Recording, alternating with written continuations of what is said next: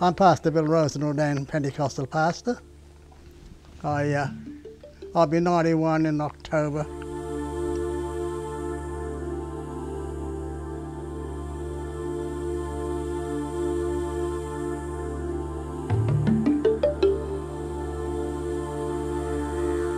I was only four, four or five years away, and I used to run down to grandma's place.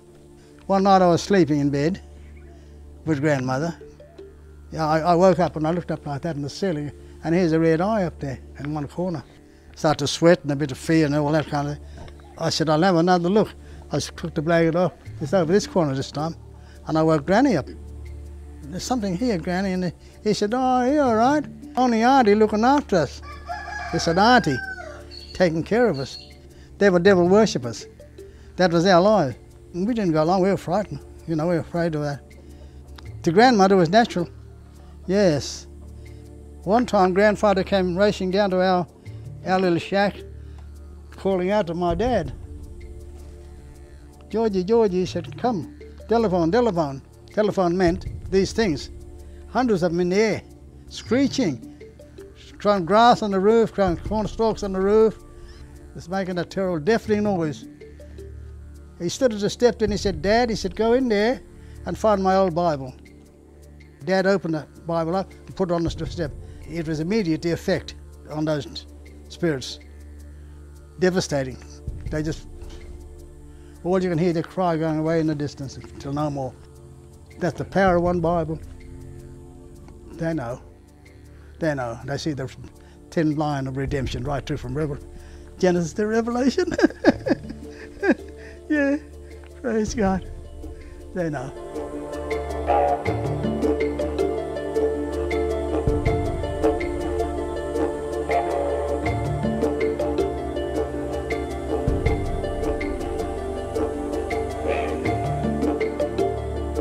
The other relations of ours, they were hard, violent men, you know, alcohol and gambling and fighting.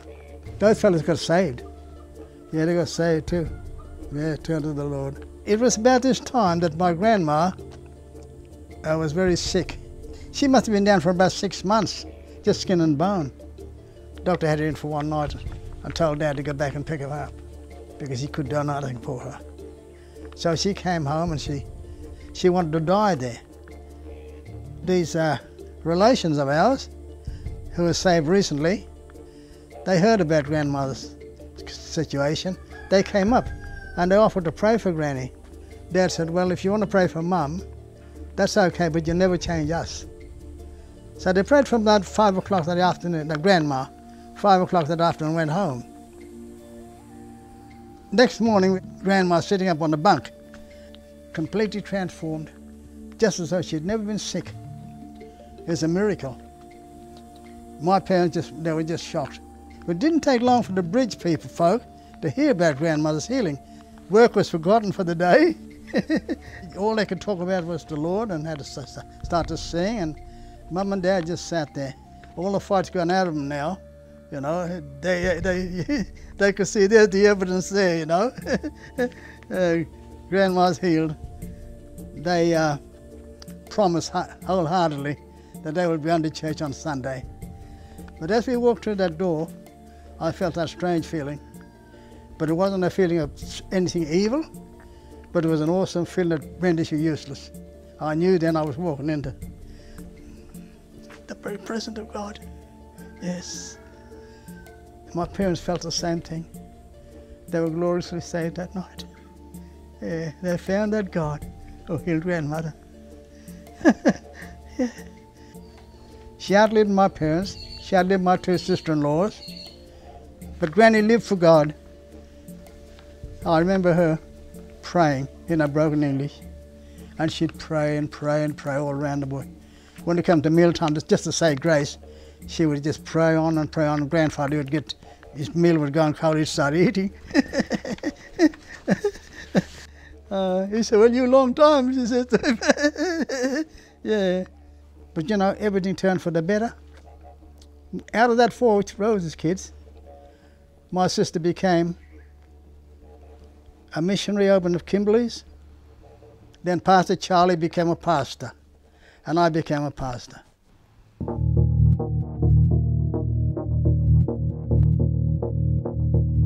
I can tell you three or four times during my lifetime I came face to face with death or something. See, God was keeping me for a purpose. Another time we come home from school, we start put the horse in the canter and she stumbled. My brother Charlie was thrown clear, but me, I went straight over her head and onto the ground. And the horse full went, come down, bolt on top of me. I couldn't breathe. I got up and everything went black. I stood there, let a hole in my belly. I could have died that, that, that time, but I'm still here.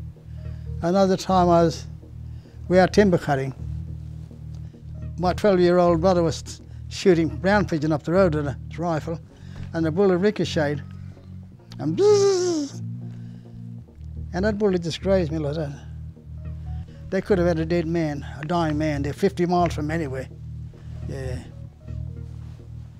Again. there was a meeting on that night. We walked in, and there's people was up front sort of testifying and talking. And I saw a bit of an opening, and I got up and went out and told them what happened out the bush that night. After the meeting, Auntie Lizzie, that's, that, that's the other auntie, she said, today, this afternoon, five o'clock, God spoke to her that a death angel were passing down Buller and to pray for the victim that he will not claim it. She got down and she opened her heart out to God. She prayed. And the children coming in and looking at the door.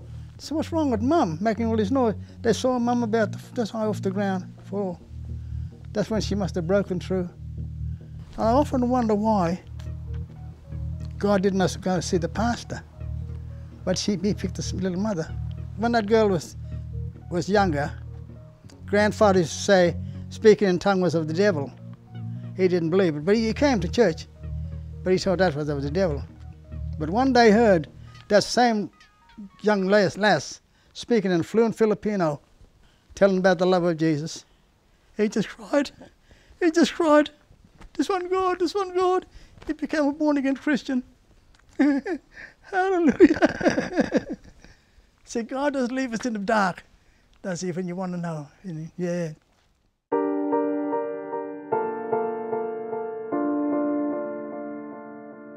Things like that happened those days.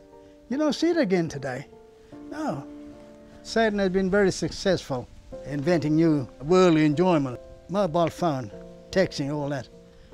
That's why I, I try not to watch television if I could. Yes, I, I made a promise to God I won't ever watch that stuff because there's too much rubbish on it already. Yeah. When I think of Charles Finney and all these fellow great men of God, they never had those things in those days. Hundreds of them, thousands of them just wept before God. And God did something when He changed the whole town. That can happen here. We've got to raise up people here.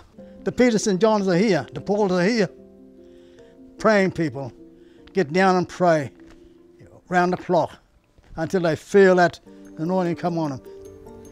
I really want to get closer to Him, you know. Yes. Even at my age, I can't preach anymore, but I can win souls. I can make disciples. When you go to a church today, you'll see them all sitting in there. They're supposed to be out there making disciples. And that's the last thing Jesus told them. Make disciples of all nations. That's not hard. I've given you power to do all that. We got more power than the devil has now. Yes. Hallelujah. Don't wait any longer. Get yourself right with God. You know? Get yourself right, get close, and ask the Lord to sanctify you body, soul, and spirit. There's only one, one way. There's only one flight out. No, no second flight. yeah, yeah, yeah.